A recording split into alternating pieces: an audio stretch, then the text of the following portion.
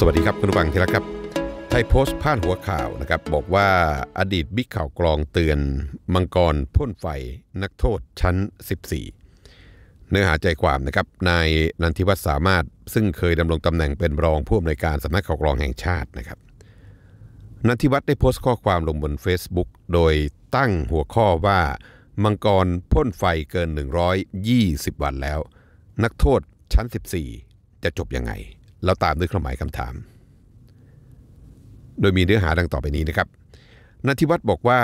จะเอาออกจากคุกก็เอาเถอะครับ ยังไงยังไงก็จะเอาออกอยู่แล้วนี่ครับ ก็พูดจาให้ชัดเจนไปเลยแถลงข่าวไปเลย จะมาอ้ำอ้ำอึ้งอึ้งปัดกันไปปัดกันมาระหว่างโรงพยาบาลตำรวจกับกรมราชทัณฑ์เราต้องพร้อมที่จะเผชิญหน้ากับความจริงให้ได้สิครับ นักโทษเทวดาใช้อภิสิทธิ์เหนือคนอื่น โดยมีพักการเมือง โดยมีนักการเมืองเนี่ยคอยอุ้มอยู่ ฝ่ายค้านก็หวังพึ่งอะไรไม่ค่อยได้หรอกครับ ไม่เคยแสดงบทบาทในเรื่องนี้เลย ไม่เคยแยแสไม่เคยถามรัฐบาล หรือว่า